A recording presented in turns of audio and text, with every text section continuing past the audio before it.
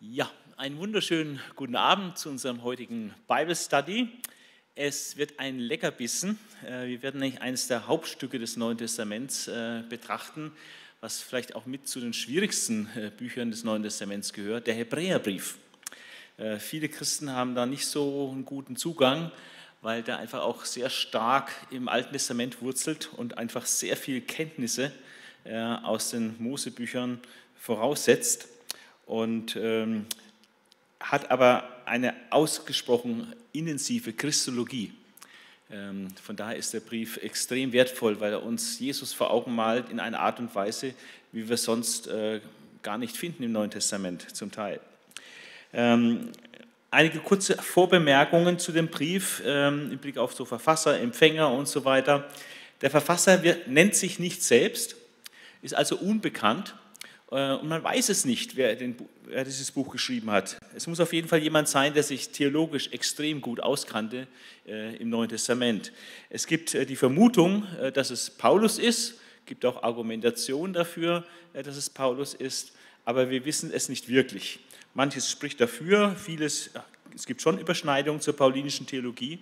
Aber äh, es gibt auch Themen, die Paulus überhaupt nicht anspricht, die hier aber eine zentrale Rolle spielen und auch von der Sprache ist es ein bisschen anders als die Paulusbriefe.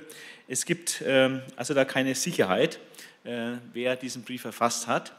Aber selbst dadurch äh, ist es der Gemeinde äh, völlig klar gewesen, egal ob da ein Verfasser drüber steht oder nicht, der Brief hat so ein Gewicht, der ist so geistlich und theologisch so stark autoritativ von der Aussage her, dass er äh, ganz klar auch als äh, Bestandteil des Neuen Testaments angesehen wurde. Im Osten hat man ihn tatsächlich als Paulusbrief gehandelt, im Westen nicht. Ähm, er war zuerst in Rom bekannt, dieser Brief, aber man weiß auch nicht genau, wo die Empfänger sitzen. Es ist unklar, ob es Heidenchristen sind. Es wird sehr viel Septuaginta verwendet. Und für Heidenchristen war ja die ganze Sache mit dem alttestamentlichen Kultus ein großes Problem. Äh, und ähm, von daher ähm, wäre das wertvoll, sie aufzuklären über den begrenzten Wert des alttestamentlichen Kultus im Vergleich zu Christus. Ähm, aber die Hauptmeinung ist, äh, dass es doch äh, Judenchristen sind, die diesen Brief ursprünglich erhalten haben. Das zeigt sich an der Überschrift des Briefes, auch in den Manuskripten, an die Hebräer. Ja, das spricht doch sehr für Judenchristen. Und der gesamte Stil äh, des Buches äh, ist sehr passend und geeignet für, für Judenchristen. Die ganz starke Verwendung des Alten Testaments äh, zum Beispiel, die ganze Thematik. Und ähm, so ist die alte traditionelle Meinung und denke auch wirklich die richtige Meinung, dass der Hebräerbrief an Judenchristen ursprünglich gerichtet wurde. Ob das die jetzt in Rom sind oder manche vermuten auch Jerusalem, ist auch unklar, weiß man nicht. Äh, sicherlich war es vor 70 nach Christus. Ähm, da gibt es äh, sehr gute Argumente dafür. Ähm, vor allem, weil der Synagogenbetrieb, der Tempelbetrieb noch vorhanden war. Äh, das kann man aus dem Hebräerbrief durchaus erschließen, dass der Kultus da in Jerusalem noch lief zu der Zeit, also was vor 70 nach Christus, wo der Brief geschrieben worden ist. Und der Zweck dieses Briefes, und das ist jetzt das Entscheidende, gerade wenn es Judenchristen sind, es sieht so aus, dass der Zweck, der Hauptzweck dieses Briefes ist, Judenchristen, die in der Gefahr standen, vom Christentum abzufallen, zurückzugehen zum Judentum, äh, sie davor zu warnen, dass es ein großer, großer Fehler wäre und dass es einfach theologisch äh, ein absoluter Rückschritt wäre und ähm, ja, eine Katastrophe, wenn man das wirklich machen würde. Äh, die Juden hatten, ja, als Juden waren sie eine erlaubte Religion im Römischen Reich und unter Bedingungen von Christenverfolgungen waren die Juden eigentlich geschützt. Aber die Judenchristen waren dann nicht mehr so geschützt. Und von daher war es vielleicht schon eine Versuchung für Judenchristen in der Verfolgung, naja, als Jude bin ich eigentlich einigermaßen sicher, äh, muss ich denn unbedingt ja, äh, mich jetzt zu Christus bekennen? Äh, reicht es nicht, wenn ich mich so als Jude äh, so im Hintergrund halte? Und die Gefahr des Abfalls von Christus und der Rückkehr zum Judentum, dieser Gefahr will dieser, will dieser Brief wehren. Äh, die Haupt äh, das Hauptthema in diesem Brief ist die totale Überlegenheit Jesu Christi. Äh, da werden etwa zehn Kapitel dafür verwendet, um einfach zu zeigen, dass Jesus Christus viel, viel größer ist und besser ist und höher und erhaben ist gegen alles, was wir sonst vom Alten Testament her kennen. Er ist höher und erhabener als die Propheten, er ist äh, höher und erhabener als die Engel, er ist auch äh, höher als Mose und Josua, er ist dann vor allem auch höher als der Hohepriester Aaron ja, mit dem das, der ganze Kultus des Alten Testaments äh, ganz eng verbunden ist. Und das arbeitet der Hebräerbrief fantastisch heraus. Und nach diesen zehn Kapiteln hat er noch einige hilfreiche Tipps äh, für das Leben im Glauben, wie das ausschaut, indem er uns die Glaubenshelden vor Augen führt, eine Liste der, Glaubenshelden bringt und dann einfach viele praktische Anweisungen, ganz, ganz praktisch, sehr konkret, wie wir als Christen äh, leben können. Wir starten jetzt mal mit der, dem ersten Vergleichspunkt, die Erhabenheit Christi, dass Jesus höher ist als die Propheten. Das wird so als Briefeingang äh, gebracht, äh, auch nur sehr kurz behandelt. Und äh, der Brief beginnt mit den Worten, früher hat Gott viele Male und auf vielfältige Weise durch Propheten zu unseren Vorfahren gesprochen. Also das Propheten, oft gab es viele Propheten Früher, über Jahrhunderte äh, hinweg, hat Gott das so gemacht, auf ganz, hat immer wieder gesprochen durch die Propheten, auf ganz vielfältige Weise, durch Wortverkündigung, durch Zeichenhandlungen und sonstige Sachen, manchmal auch durch die Biografie ein Stück weit eines Propheten.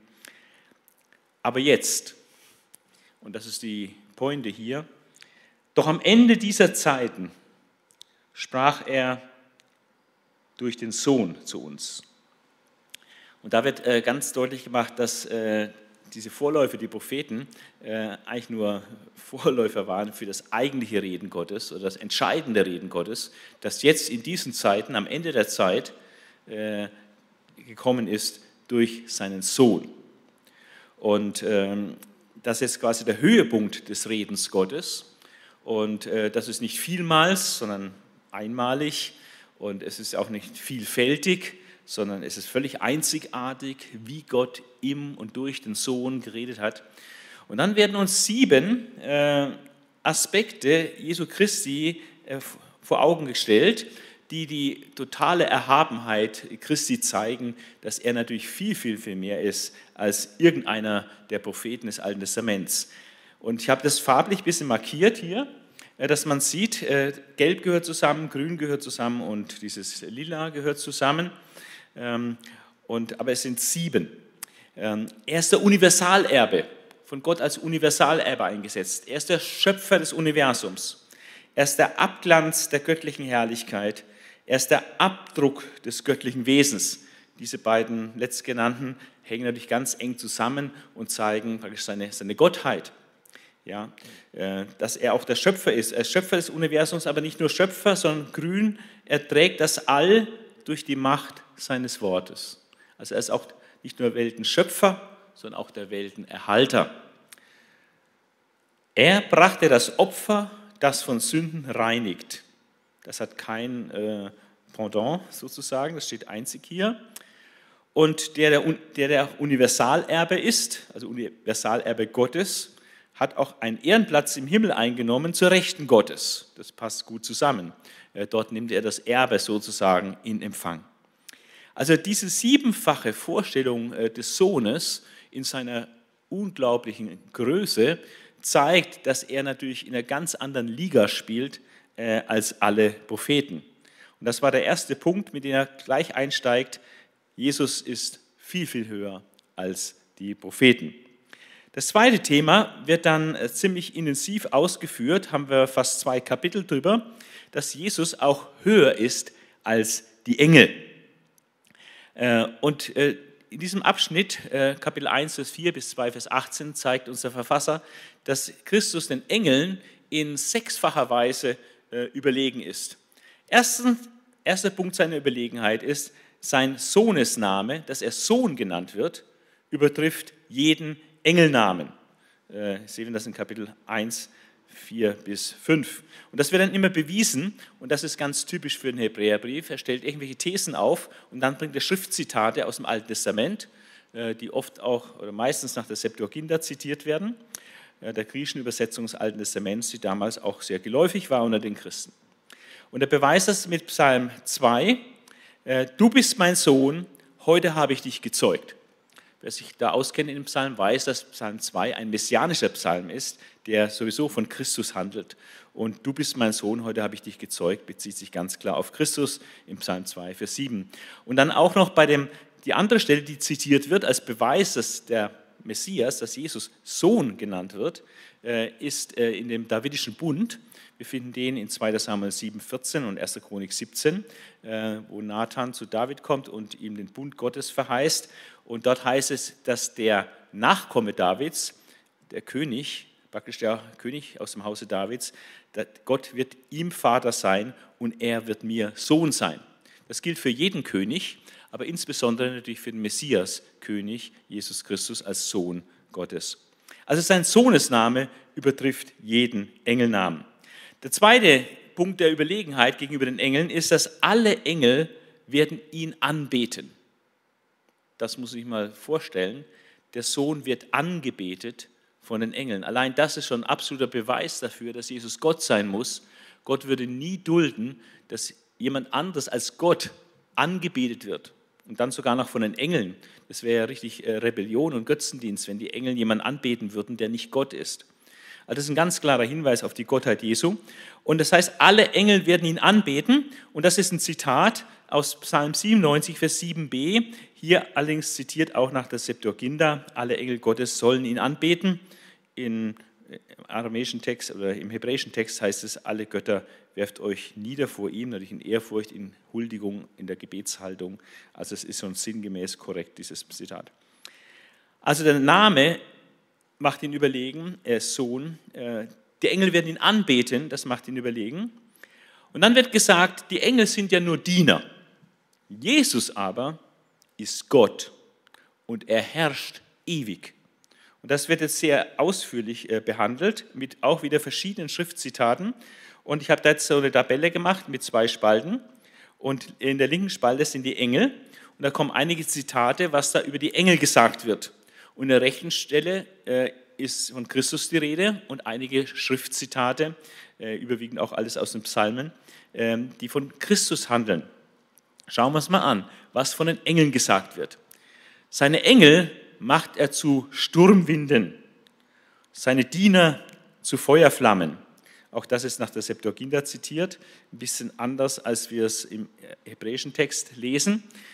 Entscheidend ist, Engel und Diener werden sie genannt. Und Engel sind alle nur Diener, heißt es dann weiter unten. Sie sind Wesen der himmlischen Welt, von Gott als Helfer gesandt zu denen, die an der Rettung teilhaben, also als Helfer für die Gläubigen. Ja, also sie sind Helfer, Diener, Boten, Gehilfen, Hilfspersonal.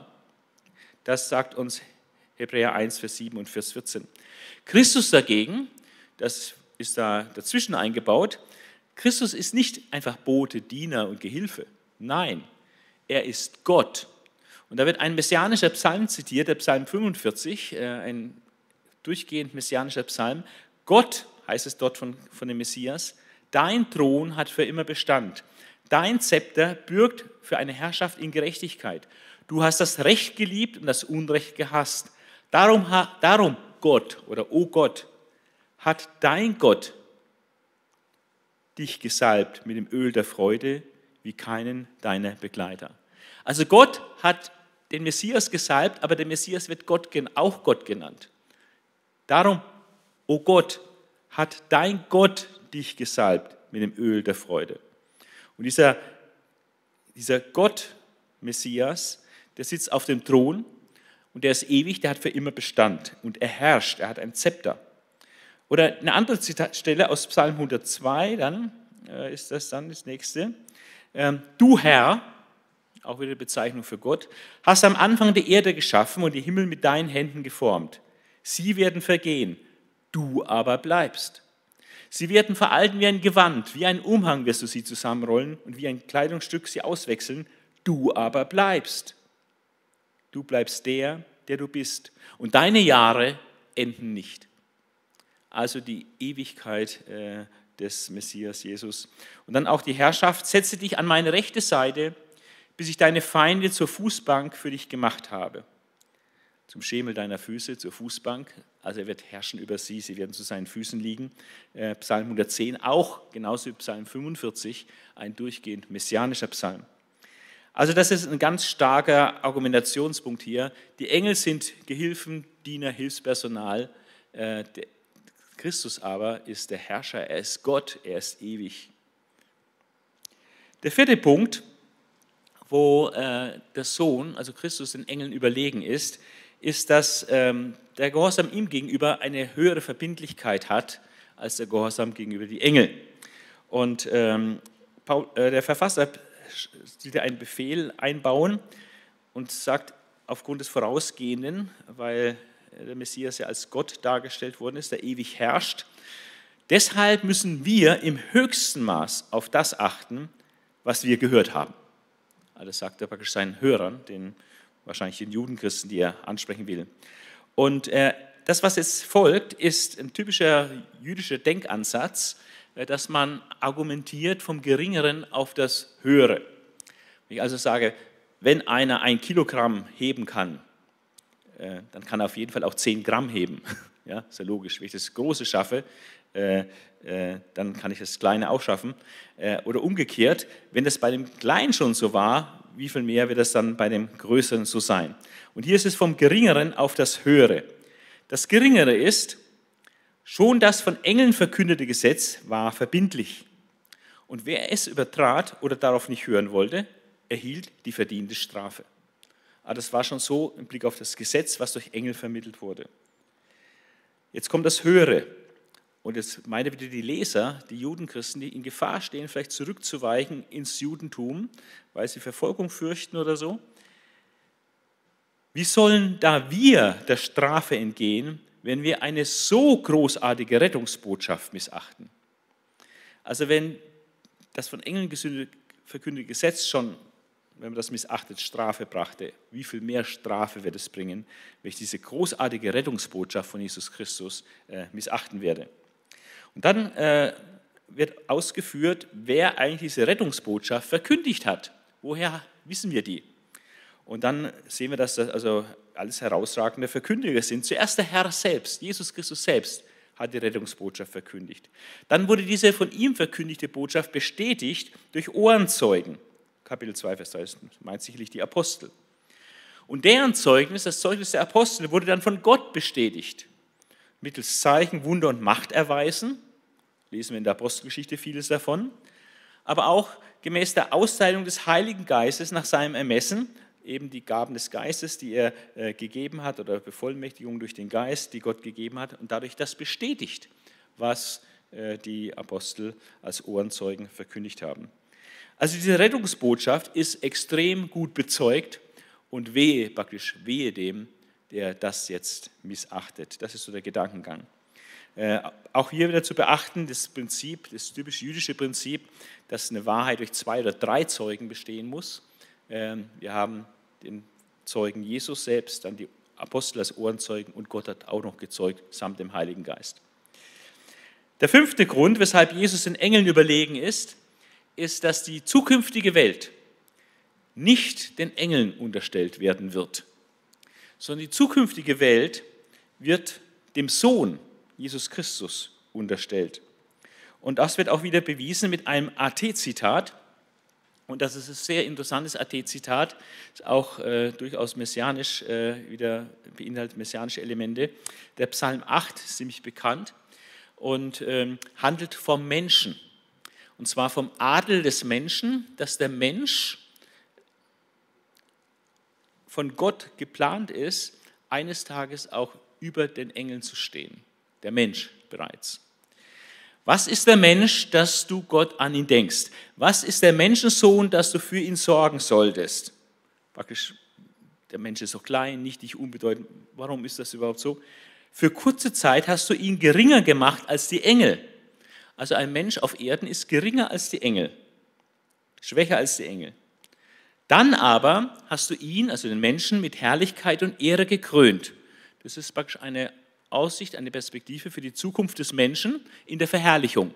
Er wird dann mit Herrlichkeit und Ehre gekrönt sein und Jesus sagt ja auch, wir werden dann die Engel sogar richten. Wir werden über den Engel stehen.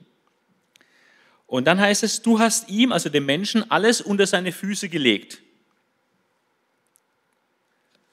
Das gilt schon für den Menschen. Aber jetzt wurde Jesus Mensch und ist dann als Mensch auferweckt worden und in den Himmel geführt worden und verherrlicht worden. Und jetzt können wir, an, und das ist das, was der Verfasser jetzt macht, er wendet dieses Zitat, was eigentlich allgemein den Menschen auch gilt, als ihre Bestimmung von Gott, wendet er jetzt an, dass diese Bestimmung jetzt schon sichtbar wird an dem Menschen Jesus Christus. Er ist praktisch Repräsentant der Menschheit und äh, deswegen werden jetzt hier die Parallelen gezogen zwischen der Aussage von Psalm 8, 5 bis 7 und dem, was äh, Jesus bereits erlebt hat und äh, wo Jesus bereits ist. Das heißt, doch Jesus sehen wir bereits, der für kurze Zeit geringer als die Engel gemacht wurde. Als Jesus Mensch wurde, war er für kurze Zeit geringer als die Engel gemacht. Und der jetzt wegen seines Todesleidens mit Herrlichkeit und Ehre gekrönt ist. Also er ist jetzt bereits mit Herrlichkeit und Ehre gekrönt. Das sehen wir bei den anderen Menschen noch nicht, aber Jesus als der sogenannte erste Mensch, ja, also der zweite Mensch, Adam ist der erste Mensch, Christus der zweite Mensch, aber der Christus der zweite Mensch, der schon verherrlicht ist, der ist jetzt bereits mit Herrlichkeit und Ehre gekrönt und will auch uns und wird auch uns in die Herrlichkeit führen. Denn er hat den Tod auf sich genommen, damit auf diese Weise Gottes Gnade zu allen Menschen käme, weil Gott viele Menschen als seine Kinder in die Herrlichkeit führen wollte. Also Gott wollte viele Menschen in seine Herrlichkeit haben, die dann auch höher als die Engel sind. Und ihm, dem dem Christus hat Gott alles unterworfen. Es gibt nichts, worüber er nicht Herr wäre. Im Blick auf uns Menschen können wir das freilich noch nicht erkennen. Aber im Blick auf Christus können wir das bereits sehen, dass das schon Wirklichkeit ist, weil Jesus jetzt schon im Himmel herrscht. Christus wurde durch Leiden vollkommen gemacht, heißt es weiter.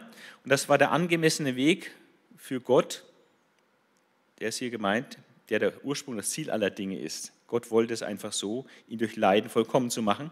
Und Gott, der Vater, ist in doppelter Hinsicht Vater. Er ist Vater Jesu Christi, er ist Vater dessen, der heilig macht, also des Christus. Und er ist Vater derer, die von ihm geheiligt werden, also der Christen. Und weil das so ist, dass Christus Gott zum Vater hat und wir haben Gott auch zum Vater, Jesus sagt mal, ich fahre auf zu meinem Gott, zu eurem Gott, zu meinem Vater, zu eurem Vater. Deswegen, weil wir den gleichen Vater haben, äh, schämt Christus sich nicht, uns, die Christen, seine Brüder zu nennen. Und das wird jetzt wieder belegt, wo nennt Christus die Christen seine Brüder, wird wieder belegt mit alttestamentlichen Zitaten, und zwar zwei Zitaten, eins aus dem messianischen Psalm 22, äh, wo nach dem Tod von der Auferstehung die Rede ist und dass er dann, nachdem er sein Leben den Tod gegeben hat, deinen Namen will ich meinen Brüdern bekannt machen, mitten in der Gemeinde will ich dir Loblieder singen. Das ist eine Zitat, wo der Messias, der auferstandene Messias dann, die Gläubigen seine Brüder nennt. Dann wird noch ein anderes Zitat gebracht, das wird hier typologisch verwendet, weil das Zitat im, im Zusammenhang, wo es steht, bei Jesaja 8, bezieht sich auf Jesaja und seine zwei Söhne. Äh, der Shea Yashub, ein Überrest kehrt um, und Macher Shalal Chasbas, was heißt äh, Raube bald, eile Beute. Das waren prophetische Namen, die etwas aussagten im Blick auf äh, Botschaft, die Jesaja hatte. Und so hat dann Jesaja ausgerufen: Ich will mein Vertrauen auf ihn setzen, egal was die anderen machen in Israel. Ich will mein Vertrauen auf ihn setzen. Und hier bin ich mit den Kindern, die Gott mir gegeben hat. Also Gott hat dem Jesaja Kinder gegeben, die zum Wahrzeichen wurden für Israel, zur Botschaft für Israel wurde. Und da sieht der Verfasser des Hebräerbriefs, nimmt diesen Vers, weil er einfach von der, weil er eine Ähnlichkeit hat, diese Aussage hat einfach eine Ähnlichkeit, die auch für Christus gilt. Hier bin ich, sagt Christus, mit den Kindern, den Gläubigen, die Gott mir gegeben hat. Also Gott hat auch Jesus Kinder gegeben, nämlich die Gläubigen. Das ist also eine typologische Erfüllung, ähm, anders als andere prophetische Stellen, die direkte, konkrete messianische Weissagung sind. Und weil diese Kinder aus Fleisch und Blut sind, ist auch er, der Christus, ein Mensch von Fleisch und Blut geworden. Und so konnte er durch seinen Tod den Teufel entmachten. Der Teufel wird hier gesagt, das ist der, der die Macht über den Tod hatte. Und er konnte die befreien, die durch Angst vor dem Tod, das sind wir Menschen, alle Menschen haben irgendwie Angst vor dem Tod, leben in verständiger Angst vor dem Tod. Er konnte die befreien, die durch Angst vor dem Tod ihr ganzes Leben lang versklavt waren. Auch hier wieder das Prinzip der Analogie. Ähm, die Menschen sind aus Fleisch und Blut, deswegen wurde er uns gleich, Mensch von Fleisch und Blut. Ja, das, das ist ein Prinzip, was wir immer äh, wieder mal finden. Der letzte Punkt, weshalb Christus äh, überlegen ist gegenüber den Engeln, zeigt, dass er sich ja gar nicht der Engel annimmt, sondern er nimmt sich dieser Menschen an, die, ja, wie gerade eben ausgeführt worden ist, äh, eine höhere Stellung bekommen werden als die Engel. Er nimmt sich also praktisch höheren Wesen an als den Engeln. Denn in der Herrlichkeit werden die Gläubigen über den Engeln stehen. Und äh, so ist klar, wenn er sich den Höheren annimmt, äh, wie viel höher muss er dann als die Engel sein, wenn er sich der Nachkommen Abrahams annimmt. Und deshalb musste er seinen Brüdern in jeder Hinsicht gleich werden, um vor Gott sein zu können. Und wie sollte er vor Gott sein? Er sollte ein barmherziger und treuer hoher Priester sein. Aufgabe von hohem Priester war, die Sünden des Volkes zu sühnen. Aber nicht einer, der ähm, aus dem Elfenbeinturm heraus äh, das macht, ohne irgendwelchen Bezug zur Realität, sondern einer mit Leidenserfahrungen in Versuchungen. Also jemand, der auch schon versucht worden ist, der Prüfungen kennt, ähm, der Leiden und Versuchungen kannte. Und das war bei Jesus der Fall. Er wurde ja auch versucht vom Teufel immer wieder. Und durch diese Leidenserfahrung in Versuchung ist er fähig, denen zu helfen, die versucht werden. Auch das wieder im Prinzip der Analogie. Ähm, er will uns helfen, wir werden versucht. Er wurde auch versucht, er kennt das. Es ist nichts Fremdes ihm. Es, es hilft uns auch ihm zu vertrauen. Das war das zweite große Thema. Ähm, Jesus ist höher als die Engel. Äh, wenn man das nochmal äh, Revue passieren lässt, die sechs Argumente, weshalb Jesus höher ist als die Engel, dann ist das, äh, er hat einen viel besseren Namen als die Engel, er ist Sohn. Alle Engel werden ihn anbeten. Ja, die Engel sind nur Diener, aber Christus ist Gott, der ewig herrscht. Ähm, die Verpflichtung zum Gehorsam gegenüber dem Sohn ist, ist viel verpflichtender als äh, gegenüber die Engel, die ja das Gesetz brachten. Äh, und nicht den Engeln hat er die zukünftige Welt anvertraut, sondern dem Sohn als Repräsentanten der Menschheit. Und dieser Repräsentant der Menschheit nimmt sich nicht der Engel an, sondern nimmt sich der Menschen an, die dann auch in der Zukunft, zukünftigen Welt über den Engeln stehen werden. Und das zeigt die totale Überlegenheit Christi über die Engel. Der nächste Abschnitt, Kapitel 3 bis Kapitel 4, 3 Vers 1 bis Kapitel 4 Vers 13, behandelt ähm, ist ähm, sehr, sehr interessant und man steigt eigentlich erst dadurch, wenn man ihn wirklich als Gesamtzusammenhang äh, durchackert, äh, diese, diese Verse. Und da wird deutlich, dass Jesus höher ist als Mose und auch Josua. Äh, Mose äh, steht für den, der im Haus Gottes gearbeitet hat, nämlich Israel, das alte Bundesvolk, er hat da gedient im Haus Gottes. Ähm, aber im Vergleich des Dienstes, den Jesus im Haus Gottes, nämlich der Gemeinde wirkt, äh, das ist der Dienst Jesu viel, viel wertvoller. Und Josua steht für, die, für der, der das Volk ins Land hineingebracht hatte. Mose konnte das Volk ja nicht ins Land hineinbringen. Aber Josua hat das, Land, Volk ins Land hineingebracht, aber er hat sie immer noch nicht wirklich zur Ruhe gebracht. Das ist das Argument, äh, was hier gebracht wird. Und es ist Christus und der Glaube an Christus, der uns in die eigentliche Ruhe Gottes bringen wird. Und ähm, das ist jetzt sehr interessant, auch für Bibelstudien, wenn man selber äh, in der Bibel studiert, darauf zu achten. Äh, wir haben das ganz oft in der Bibel, dass wir so Worthäufungen haben.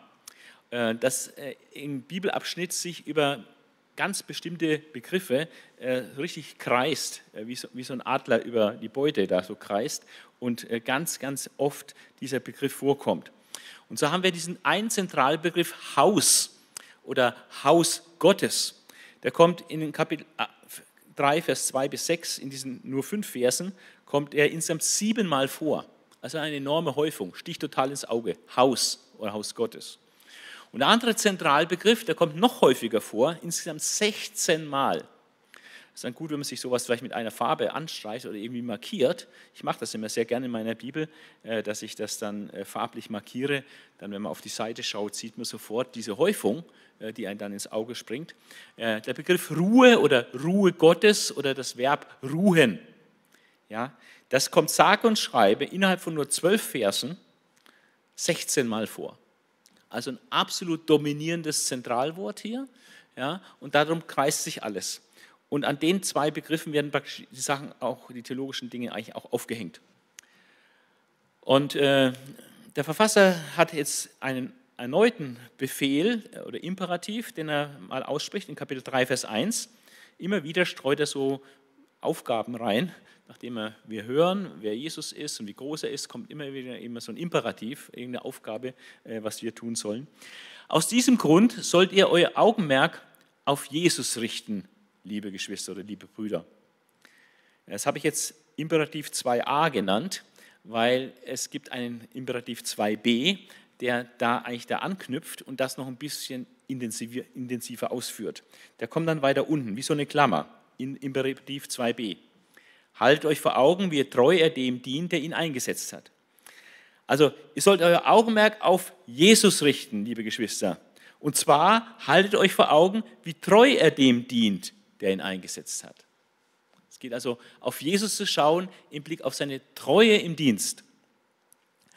Und äh, wir sollen Augenmerk auf Jesus richten, nämlich auf den Apostel, den Gesandten und Hohenpriester unseres Bekenntnisses. Der von Gott Gesandte und er ist der hohe Priester. Gesandt war als er bei seinem ersten Kommen hier war auf Erden, da war er als der Gesandte Gottes unterwegs, aber jetzt ist er im Himmel als der hohe Priester tätig für uns. Und wir sind als Gläubige für Gott ausgesondert und wir haben eine ganz hohe Berufung. Es geht nicht um Erfolg in dieser Welt. Es geht nicht um Wohlstand oder Vergnügen oder irgendwas, äh, Bequemlichkeit in dieser Welt, sondern unsere Berufung ist, dass wir teilhaben an der himmlischen Welt, an der ewigen Welt, an der Welt äh, Gottes, die so viel besser ist und so viel größer ist, als was wir uns, das können wir uns gar nicht vorstellen, wie groß das ist. Und jetzt macht er Ausführungen, wo er Mose und Christus gegenüberstellt. Und bei dieser Gegenüberstellung wird dann deutlich, dass Christus viel höher ist, höher als Mose. Obwohl Mose ja praktisch für den Juden äh, die herausragendste menschliche Figur im Alten Testament war. Also Mose, Mose über alles. Ähm, Mose war der Größte er war der Gesetzgeber, hat das Volk aus Ägypten geführt. Ja. Also Mose war, der, war die größte menschliche Figur für einen Juden. Ja. Und ähm, wir haben im Neuen Testament auch sehr viele Vergleiche zwischen Mose und Christus. Aber es, es entscheidend ist, dass Christus noch viel höher ist als Mose. An der linken Spalte habe ich jetzt an alle Stellen zusammengetragen, was von Mose aus gesagt wird. Er war ein treuer Diener über das ganze Haus Gottes, das Volk Gottes. Volk Gottes wird als Haus Gottes hier bezeichnet.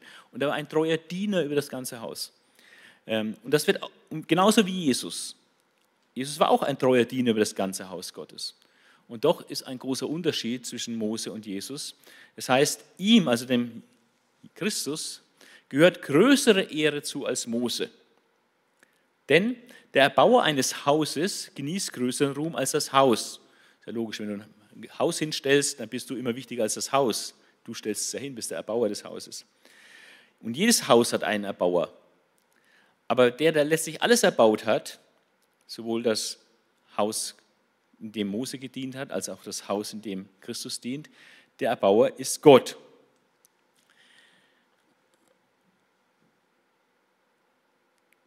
der Mose war treu im Haus Gottes als Verwalter, heißt es dann, als Angestellter. Er war als Verwalter eingesetzt, das Haus zu verwalten. Und äh, im Blick auf das Haus der Gemeinde sagt Gott, dass ähm, in, in der Gemeinde zeigt der Sohn, zeigt er die Treue als Sohn und damit auch als Sohn Gottes und damit auch als Herr über das Haus Gottes. Er ist nicht nur Diener, er dient nicht nur der Gemeinde, er ist nicht eingesetzt nur als Verwalter dieses Hauses der Gemeinde, sondern er ist der Sohn Gottes und damit ist er auch der Herr der Gemeinde. Und dieses Haus, dieses Haus Gottes, von dem hier die Rede ist, das sind wir, also die Gemeinde. Und dann äh, tut der Verfasser so eine kleine Warnung einflechten, äh, dass wir nicht lau werden oder äh, die Sache zu locker nehmen. Dies Haus sind wir, vorausgesetzt, wir halten voll Zuversicht und Stolz an der zukünftigen Hoffnung fest. Das heißt, wir weichen nicht zurück. Wir gehen nicht zurück ins Judentum, steigen aus aus der Nachfolge Jesu. Ja, das ist schon die Bedingung, dass wir dranbleiben bis ans Ende. Ja, ich gehe davon aus, dass äh, die Christen diese Bedingung auch erfüllen. Aber äh, wir sind dieses Haus, wenn wir auch voll Zuversicht und Stolz an dieser Hoffnung festhalten. Das ist schon wichtig, dass wir an dieser Hoffnung festhalten. Und dann wird noch was im Blick auf Mose gesagt, dass er die Leute zwar, das Volk damals aus Ägypten herausführen konnte, doch die, die er herausgeführt hat, die sind eigentlich nie da angekommen, wo sie hin sollten. Die sind nicht reingekommen. Also diese Erwachsenengeneration, die ist nicht wegen ihres Unglaubens in der Wüste aufgerieben worden. Das heißt, der Dienst äh, des Mose war eigentlich auch nur teilweise erfolgreich. Und das ist Stichwort Unglaube jetzt äh, gekommen. Und das nimmt der Verfasser jetzt her, um praktisch zu warnen, äh, dass das, was damals dieser Erwachsenengeneration, der Auszugsgeneration passiert ist, dass wir in Unglauben da nicht reingekommen sind ins verheißene Land, äh, dass das nicht auch jetzt den Christen passiert, oder diesen Judenchristen, die den Brief bekommen, äh, dass sie zwar rausgekommen sind aus der Sünde und aus der Welt, ähm, aber jetzt dann nicht, nicht reinkommen zum Ziel, weil sie durch Unglauben und Rückfall ins Judentum äh, da Schiffbruch leiden. Darum beherzigt, was der Heilige Geist sagt. Es ist interessant im, im Hebräerbrief, äh, auch in anderen Stellen der Bibel, dass das, was die Bibel sagt, ist das, was der Heilige Geist sagt, ist das, was Gott sagt. Das ist überhaupt kein Unterschied. Äh, also alles, was in der Bibel steht, ist auch das, was Gott sagt, was der Heilige Geist sagt. Darum beherzigt, was der Heilige Geist sagt. Äh, und dann wird zitiert in den nachfolgenden Versen 7 bis 11 des Hebräerbriefs, Kapitel 3, wird zitiert aus Psalm 95, 7 bis 11. Ein längerer Abschnitt ähm, und den wollen wir uns anschauen. Äh, was sagt der Heilige Geist? Und da wird eben aus Psalm 95 zitiert, wenn ihr heute die Stimme Gottes hört und verschließt, also dann wird aufgefordert, verschließt euch seinem Reden nicht. Das war wieder ein Imperativ, ein Prinzip. Wenn wir heute Gottes Stimme hören, dann soll man unser Herz nicht zuschließen, sondern aufschließen, nicht seinem Reden unser Herz verschließen. Wie es das Volk in der Wüste an dem Tag tat, als es gegen ihn rebellierte. Da hat es angefangen, sich seinem Reden zu verschließen. Damals sagte Gott, haben eure Vorfahren mich herausgefordert und meine Geduld auf die Probe gestellt, obwohl sie 40 Jahre lang meine Wunder gesehen hatten Deshalb hat mich diese ganze Generation angewidert. Ihr Eigenwille führt sie ständig in die Irre, sagte ich. Sie begreifen einfach nicht, welche Wege ich sie führen will. Schließlich schwur ich in meinem Zorn, sie werden niemals die Ruhe finden, die ich ihnen geben wollte. Also in diesem Textabschnitt ähm, wird zurückgeblickt auf das Geschehen in der Wüste mit dem Volk Israel wo es praktisch zwei Parteien gab, Gott auf der einen Seite und das Volk der Wüste hat sich zur Gegenpartei entwickelt und war gegen Gott und hat nicht auf ihn gehört. Gott war, das war dann die andere Partei.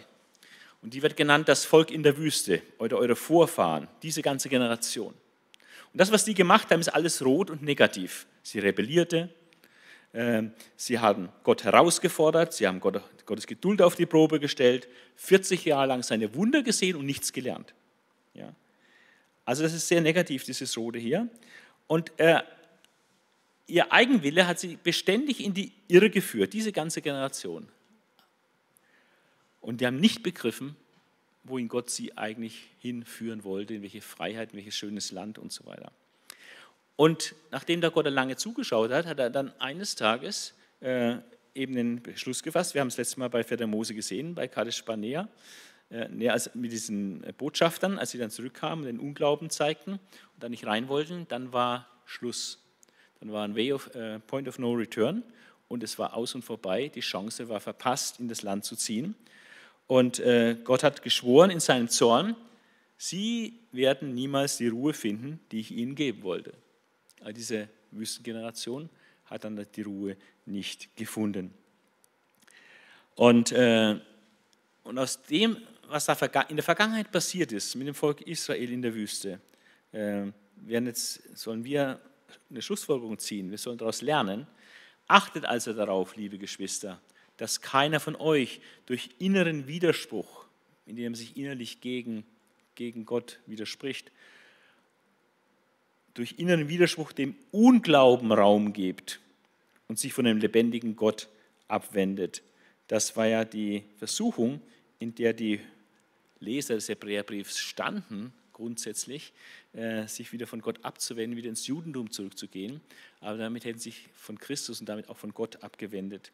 Und da sollen sie darauf achten, dass sie das nicht tun und dem Unglauben keinen Raum geben. Ein weiterer Befehl folgt, eine Aufforderung, ermahnt euch gegenseitig jeden Tag, solange es dieses heute, von dem die Schrift spricht, noch gibt, damit niemand auf den Betrug der Sünde hereinfällt und hart wird, sein Herz verhärtet gegen Gott. Also dieses, äh, durch Betrug der Sünde kann man sich auch dann verhärten und Gott gegenüber unempfindlich werden. Und dann schwenkt er um und zeigt die Hoffnung auf, denn wir gehören wirklich zum Messias und haben Anteil an allem, was ihm gehört. Und wieder oben wie das Gelbe, das äh, sieht man dann hier, wie das zusammengehört. Hier das Gelbe, vorausgesetzt, Punkt, Punkt, Punkt. Und hier auch wieder. Wir haben Anteil an dem Christus, vorausgesetzt, wir halten die Zuversicht, die wir am Anfang hatte, hatten, mit aller Entschiedenheit fest. Also wir müssen durchhalten, durchziehen, bis zum Lebensende. Ganz wichtig. Ähm, eine Frage stellt sich dann dadurch in den Raum, ähm, was waren das für Menschen, die da so versagt haben in der Wüste? Und, und warum haben sie eigentlich dann versagt? Und, äh, und dem geht der Verfasser jetzt noch etwas nach und beantwortet diese Fragen, die da so im Raum stehen. Was waren das für Leute und warum haben sie es nicht geschafft? Er sagt noch einmal zu dem, was gesagt ist. Wenn ihr heute die Stimme Gottes hört, verschließt euch seinem Reden nicht, wie bei jener Rebellion. Geht er nochmal darauf ein, was damals war. Und dann macht er das durch geschickte Fragen äh, und dann beantwortet er diese Fragen. Er wer waren denn die Menschen, die sich gegen ihn auflehnten, obwohl sie seine Stimme hörten? Waren es nicht gerade die, die Mose aus Ägypten geführt hatte? Also gerade die, die Befreiung erlebt haben, die wahnsinniges Wunder erlebt hatten und Führung Gottes und Sensation erlebt hatten, die waren es, die sich dann später auflehnten. Und wer erregte 40 Jahre lang den Zorn Gottes? Waren es nicht gerade die, die gesündigt hatten und deren Leiber dann tot in der Wüste lagen? Das war dann die Konsequenz. Die, die sich, die den Zorn Gottes erregt hatten, wurden dann auch bestraft mit dem Tode und kamen nicht an, am Ziel an. Und wen meinte Gott mit seinem Schwur, dass sie nie die von ihm versprochene Ruhe finden würden, wenn nicht die, die ihm den Gehorsam verweigern? Also ganz offensichtlich, ist, also Unglaube, Gehorsamsverweigerung, das führt äh, zur Bestrafung. Fazit, wir sehen also, dass sie wegen ihres Unglaubens nicht hineinkamen. Das ist der entscheidende Punkt. Wegen ihres Unglaubens konnten sie nicht hinein. Das soll uns quasi als Warnung dienen, dass wir nicht auch, obwohl wir mal gerettet wurden, dann wegen Unglauben dann nicht an das Ziel kommen. Das führt jetzt weiter aus. Es geht immer noch um das große Thema Ruhe Gottes. Was meint er eigentlich mit dieser Ruhe Gottes? Und wie kommt man dahin? Zu dieser wahren Ruhe Gottes. Also die Wüstengeneration hat es ja nicht, nicht geschafft. Hat es eigentlich die Generation geschafft, die dann in, ins Land Kanaan eingezogen ist? Interessanterweise äh, kommen hier ganz andere Gedankengänge zur Sprache. Hüten wir uns also davor zu meinen, jemand sei zu spät gekommen. Denn die Zusage, in Gottes Ruhe hineinzukommen, gilt ja, gilt ja noch. Die gilt immer noch. auch uns heute und hier, äh, sie gilt immer noch, es ist möglich, in die Ruhe Gottes einzugehen. Und wir müssen deshalb alles tun, dass so etwas, wie das in der, in der Wüste passiert ist, dass sie dann nicht eingegangen sind, dass sowas nicht geschieht und nicht wieder geschieht. Und äh, in nachfolgenden Versen, in Kapitel 4, haben wir dann eine Gegenüberstellung zwischen der Wüstengeneration damals und der heutigen Christengeneration. Jenen wurde die gute Botschaft verkündigt. Ihr dürft in das verheißene Land Kanaan. Auch uns wurde die gute Botschaft verkündigt. Dass uns wird die Gemeinschaft bei Gott im Himmel verheißen, ewiges Leben und so weiter. Aber diese gute Botschaft, Einzug ins Land Kanaan, nützte ihnen nichts, weil ihr Hören, die haben es zwar gehört, aber nicht mit Glauben, mit Vertrauen verbunden war. Und das hat dann zum Ergebnis geführt, so schwor ich in meinen Zorn, sie werden niemals in meine Ruhe hineinkommen. Sie nicht. Aber wenn er sagt, sie nicht, sagt Gott indirekt damit auch, andere schon. Andere schon. Ja. Und dann äh, heißt es hier ganz klar, denn nur wir, die zum Glauben gefunden haben, zum Glauben an Christus, werden in Gottes Ruhe hineinkommen. In die Ruhe, auf die sich Gott bezog, als er sagte. Und dann äh, spricht er davon, äh, was bedeutet eigentlich diese Ruhe? Bevor er äh, nochmal auf das Zitat kommt, äh, diese Ruhe, äh, wird ausgeführt, was heißt es eigentlich, ruhen? Ja? Und da verweist er auf Gott. Gott hat nämlich auch mal geruht. Nun sind Gottes Schöpfungswerke zwar schon seit Vollendung der Schöpfung fertig, denn wo vom siebten Schöpfungstag die Rede ist, steht geschrieben, am siebten Tag, nach Vollendung seiner Werke, ruhte Gott. Das ist die Pointe. Also in die Ruhe eingehen heißt, von seinen eigenen Werken ruhen. So wie Gott von den Schöpfungswerken ruhte am siebten Tag, so werden auch wir von allen eigenen Werken ruhen. Das heißt, in die Ruhe Gottes eingehen, von der der Verfasser jetzt hier spricht. An der vorhin genannten Stelle sagte er, in Psalm 95, Sie werden niemals in meine Ruhe hineinkommen. Obwohl die, denen die Botschaft damals gesagt wurde, durch ihren Ungehorsam ausgeschlossen blieben. Äh, es bleibt dabei, dass einige in die Ruhe hineinkommen werden. Die waren ausgeschlossen, blieben ausgeschlossen, aber es gibt eine Ruhe, es ist vorhanden für das Volk Gottes und äh, es geht darum, dass wir in diese Ruhe eingehen. Und dann sagt er etwas Überraschendes, diese Ruhe Gottes hat nicht nur einen Bezugspunkt damals, als das Volk Israel aus der Wüste äh, ins Land Kanaan gehen sollte, also 1440 vor Christus in der Größenordnung, im 15. Jahrhundert vor Christus. Damals war praktisch die Ruhe Gottes auf der Tagesordnung gestanden. Und jetzt sagt er, Gott hat nun für eine neue Gelegenheit gesorgt, ein neues Heute, von dem er lange durch David gesagt hat. David ist ein äh, 10. Jahrhundert vor Christus. Also Jahrhunderte später gibt es ein neues Heute, eine neue Gelegenheit. Wenn ihr heute Gottes Stimme hört, verschließt euch seinem Reden nicht. Und er sagt, auch Josua hatte Israel nicht in die eigentliche Ruhe hineingeführt, sonst würde Gott nicht später von einem anderen Tag geredet haben. Es gibt also noch eine besondere Ruhe für das Volk Gottes.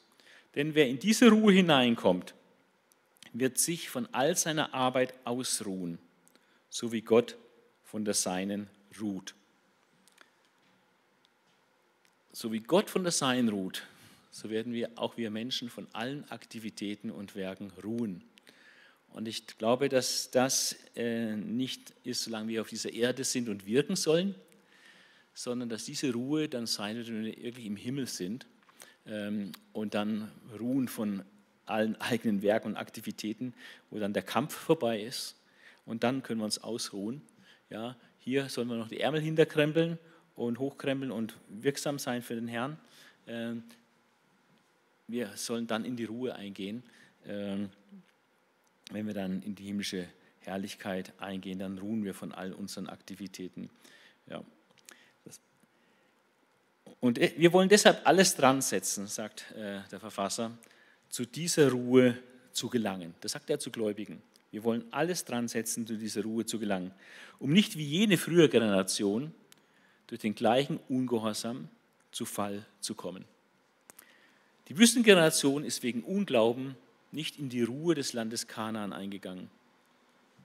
Und die Christen sollen nicht durch Unglauben und Zurückweichen die Ruhe Gottes in der himmlischen Herrlichkeit verpassen. Das ist so die Kernaussage, um die es hier geht. Und genau das würden die Leser des Briefes verpassen, wenn sie wirklich ins Judentum zurückfallen würden und sich von Christus abtrennen würden. Dann würden sie diese Ruhe, diese ewige himmlische Ruhe bei Gott verpassen. Sagt dann, das Wort Gottes ist lebendig und wirksam, es ist schärfer als das schärfste zweischneidige Schwert, das Gelenke durchtrennt und das Knochenmark freilegt. Also ein Schwert tut alles aufschneiden und es dringt bis in das Innerste ein und das Wort Gottes trennt auch etwas. Er trennt das Seelische vom Geistlichen. Das ist etwas, was das Wort Gottes leisten kann. Das, was nur emotional ist, gefühlsmäßig ist, vor dem, was wirklich zutiefst vom Geist Gottes gewirkt ist und geistlich ist. Das Wort Gottes, es richtet und beurteilt die geheimen Wünsche und Gedanken unseres Herzens. Und vor Gott, äh, wenn es also die geheimen Wünsche und Gedanken unseres Herzens äh, richtet und beurteilt, äh, steckt einfach dahinter, dass er vor Gott nichts verborgen ist. Da gibt es nichts Heimliches, nichts Geheimes, was wir geheim halten können vor Gott. Da ist nichts verborgen, alles liegt nackt und bloß vor den Augen dessen, vor dem wir Menschen Rechenschaft geben müssen. Das war der dritte Teil. Jesus viel, viel höher als die Propheten. Jesus höher als die Engel und Jesus höher als Mose äh, und Aaron, weil die haben das Volk zwar heraus, aber nicht hineinbringen können in, in die Ruhe. In die wahre Ruhe kommen wir. Die eigentliche Ruhe Gottes, die ist erst noch zukünftig, äh, auf die wir zugehen, dann bei Jesus zu sein. Ähm, das wichtigste Thema in diesem Brief äh, ist aber im Blick, wie verhält sich eigentlich der Dienst Jesu oder die Person Jesu zu dem hohen Priesteramt und zu der Person Aarons. Äh, das, was ja die entscheidende Grundlage ist des, des ganzen Judentums, praktisch der Kultus. Ähm, dass also die Opfer äh, gehalten werden und alles nach den Bestimmungen des Gesetzes gemacht wird und das ist etwas, was jetzt ähm, der Verfasser äh, extrem ausführlich auswalzt. Und ich bin mir auch nicht ganz sicher, ob wir das heute alles zu Ende schließen oder noch einen zweiten Teil ansetzen, äh, weil es lohnt sich da wirklich in die Tiefe reinzugehen. Und es ist vieles, wenn wir nicht vom Judentum her kommen und es gar nicht kennen, die ganzen Opferzeremonien, Opferdienst, ist vieles doch etwas fremd. Und ähm, da muss man sich erst wirklich ein bisschen reindenken, reinarbeiten. Auch in diesem Abschnitt ist äh, wieder extreme Häufung zu sehen von bestimmten Begriffen oder Themen. Und ähm, das ist jetzt nur bis, allein bis Kapitel 9 haben wir 37 Mal den Begriff hoher Priester oder Priester oder Priesteramt, Priestertum, Priesterordnung. Also es dreht sich alles um das Priesteramt, um den Amt des hohen Priesters. Äh, das ist absolut zentral hier in diesem ganzen Abschnitt. Aaron war der Hohepriester. Er hatte das Priesteramt, das levitische Priesteramt, das war das Priestertum des Alten Bundes und das war die alte Priesterordnung. Und ähm, das ist extrem zentral hier in diesem großen Abschnitt. Ähm, und dann kommt eine Figur, die im Alten Testament fast überhaupt keine Rolle spielt, die bloß wenige Verse da mal in, bei Abraham vorkommt. Äh, drei Verse, glaube ich, gibt es ja nur, 18 bis 20. 1. Mose 14, 18 bis 20. Drei Verse wo Melchisedek erscheint, wie aus dem Nichts und dann verschwindet er wieder im Nichts. Und dann gibt es noch eine Verheißung im Psalm 110, wo messianischer Psalm, Blick auf den Messias, wo gesagt wird, dass der, er, der Messias, ein Priester Gottes ist, nach der Weise, nach der Art Melchisedeks. Eine messianische Verheißung. Und das wird aber nur gesagt im Psalm 110, Vers 4, aber nicht erklärt. Und jetzt im Hebräerbrief in Kapitel 5, Kapitel 6, Kapitel 7 äh, wird das ausführlich erklärt, äh, was es eigentlich damit auf sich hat, mit dieser Priestertum, Priesteramt Melchisedeks Und dadurch, dass der Messias, Jesus, ein Priester ist, nicht nach der Ordnung von Aaron, sondern ein Priester ist nach der Ordnung von Melchisedek. Und das ist jetzt absolutes Zentralthema, worum es hier geht. In dem Zusammenhang wird auch noch von Abraham elfmal gesprochen. Abraham spielt im Buch eine recht große Rolle, kommt auch in Kapitel 11 mehrmals noch vor. Aber elfmal allein in diesem Zusammenhang, in Kapitel 6 und Kapitel 7, elfmal wird von Abraham die Rede. Ähm, und sechsmal von Levi, Leviten oder Aaron, der der hohe Priester war aus dem Stamm Levi, oder levitisch, eben das levitische Priestertum und so weiter. Also das sind die Kernbegriffe äh, mit extremer Häufung, vor allem der, der erste Block mit hoher Priester, Priester, Priesteramt und so weiter. Und darum dreht sich jetzt alles. Äh, und es ist gut, wenn man es im Vorhinein schon mal weiß, dann wird man ein bisschen sensibilisiert. Aha, jetzt kommt wieder dieser, dieser Begriff vor. Das Leitmotiv dieses Abschnitts, äh, der sehr lang ist, von Kapitel 4 bis Ende Kapitel 10, steht, weil wir nun einen großen hohen Priester haben, gemeint ist Christus. Und dieser hohe Priester, der hat alle Himmel bis zum Thron des Höchsten, also bis zum Thron Gottes durchschritten. Das heißt, durch die Himmelfahrt ist er bis vor den Thron Gottes gebracht worden. Jesus, den Sohn Gottes, den haben wir. Das, das ist unser hoher Priester. Nicht ein Priester aus dem Stamme Aaron, ja, der in Jerusalem Dienst tut. Zu der Zeit war der Tempel noch intakt und da wurde noch Dienst getan. Also weil wir nun einen großen hohen Priester haben, der alle Himmel bis zum Thron des Höchsten durchschritten hat, Jesus den Sohn Gottes, und dann sagt als Konsequenz wieder ein Befehl, aber nicht als Imperativ in Befehlsform, sondern als Adhortativ, das ist eine Ermahnung an die erste Person, meistens erste Person Plural, lasst uns so und so machen. Das ist ein bisschen sanfter ausformuliert, als wenn ich sage, mach, ja, lasst uns machen. Lasst uns am Bekenntnis zu ihm, am Bekenntnis zu Christus, zu diesem Hohenpriester festhalten. Das war ja die Gefahr, in der die Leser standen, sich dazu verabschieden und sagen, ach, vielleicht tut es dann doch das Bekenntnis zu dem Hohenpriester Aaron auch. Ja? Lasst uns am Bekenntnis zu ihm festhalten. Weil der Priester, den wir haben, der hat alle Himmel durchschritten bis zum Thron Gottes. Jesus, der Sohn Gottes. Ja. Deswegen unbedingt festhalten äh, am Bekenntnis zu ihm. Und jetzt äh, muss man sehen, was ist eigentlich typisch für einen hohen Priester. Das wird in Kapitel 5 ausgeführt. Ich habe das hier ein bisschen zusammengefasst. Äh, typisch für einen hohen Priester, das gilt für Aaron, genauso wie auch dann für Christus. Er wird für seine Mitmenschen eingesetzt. Das ist nicht Selbstzweck, sondern es ist ein Dienst. Er hat die Aufgabe, vor Gott für seine Mitmenschen einzutreten und Gaben und Opfer für ihre Sünden darzubringen.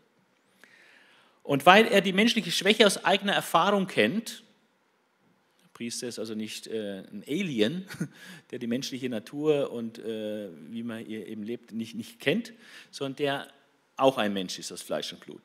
Weil er die menschliche Schwäche aus eigener Erfahrung kennt, kann er nachsichtig mit denen umgehen, die aus Unwissenheit oder Versehen vom Weg abgekommen sind. Jetzt ist hier irgendwas äh, vom richtigen Weg abgekommen sind. Hier ist irgendwas vermischt, das muss ich gerade mal wegmachen.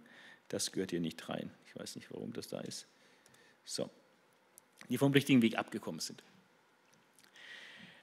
Bei dem Hohenpriester, bei Aaron, bei Jesus war das dann nicht so, wie wir noch sehen werden, aber bei Hohenpriester Aaron war es so und bei allen Hohenpriestern aus dem Haus Aaron. Deshalb muss er nicht nur für ihre, sondern auch für seine eigenen Sünden opfern. Also er muss auch für sich selbst opfern, weil er sündig ist. Und dann ist noch ein wichtiger Punkt beim Hohenpriester, was man wissen muss, niemand kann sich selbst zum Hohenpriester ernennen. Man muss von Gott für diesen Dienst berufen sein wie es eben bei dem ersten Hohenpriester Aaron auch geschah. Und genauso geschieht es auch beim Messias. Auch er wurde berufen von Gott. Und Beweis für seine Berufung durch Gott ist Psalm 110, Vers 4. Dieser berühmte Vers, der ganz, ganz häufig im Neuen Testament, gerade hier im Hebräerbrief zitiert wird. Du bist Priester, der Herr hat geschworen, äh, du bist Priester äh, nach der Art Melchisedeks, in Ewigkeit. Du bist Priester in Ewigkeit nach der Art Melchisedeks. Also ein Schwur, er hat geschworen, es wird ihn nicht gereuen. Du, wirst, du bist Priester in Ewigkeit nach der Ordnung Melchisedeks.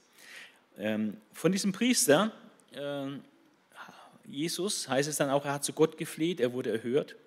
Er lernte Gehorsam an dem, was er litt. Er hat es einfach durchstehen müssen und dadurch den Gehorsam auch gelernt. Gehorsam kann man nicht theoretisch können, man kann es nur praktisch zeigen, indem er es isst.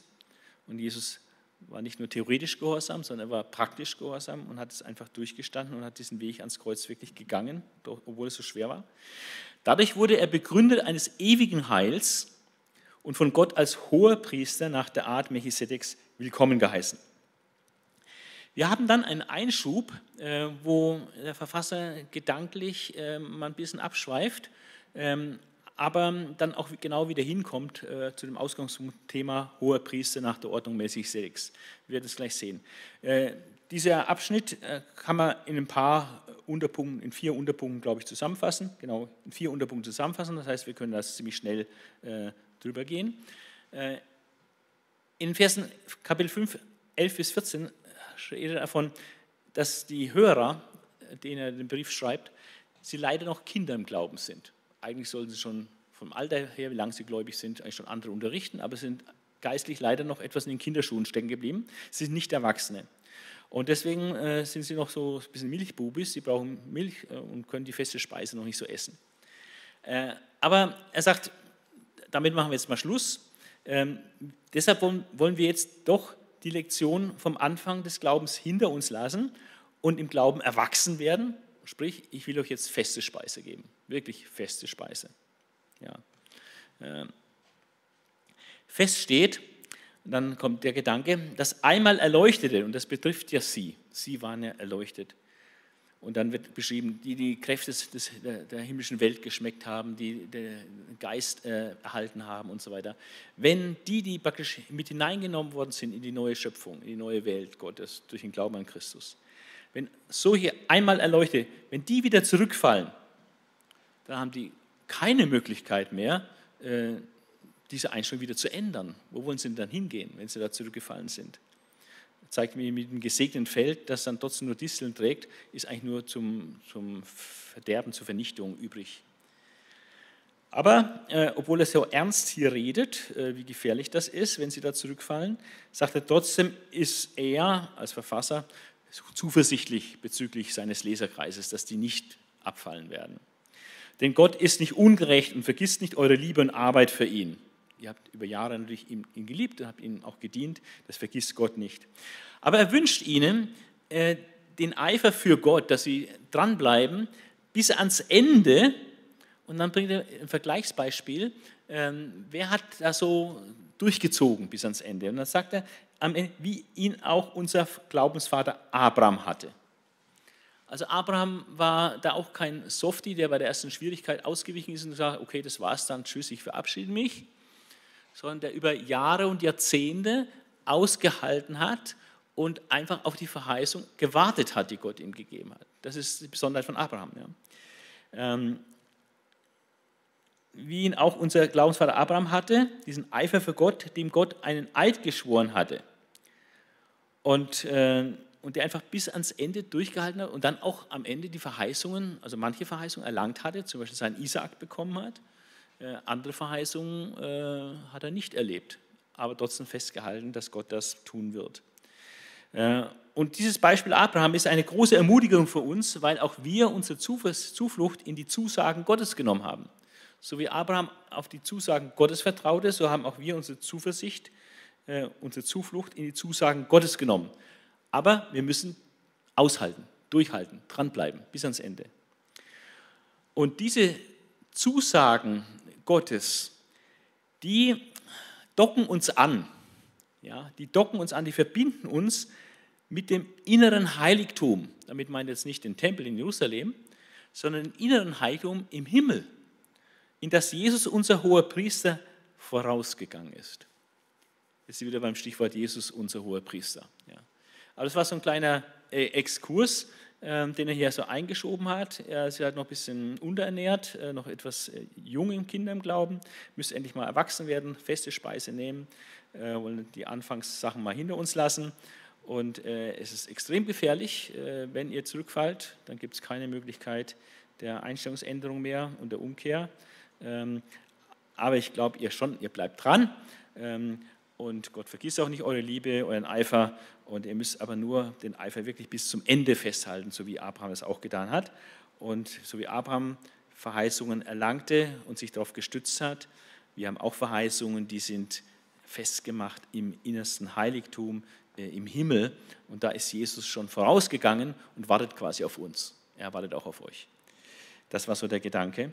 Und jetzt äh, machen wir noch diesen einen Punkt, sonst wird es zu lang heute.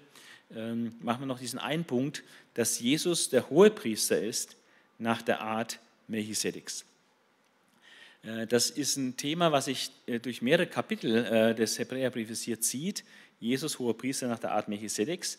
Und da muss man erstmal verstehen, ähm, was ist die Besonderheit Melchisedeks als Priester.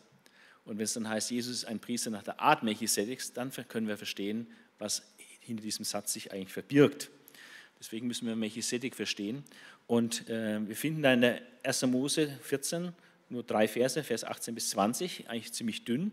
Aber wir finden dann im Hebräerbrief an den verschiedenen Stellen ähm, dann ausführliche Beschreibungen, ähm, was das wirklich bedeutet, was das alles meint und was dahinter steckt.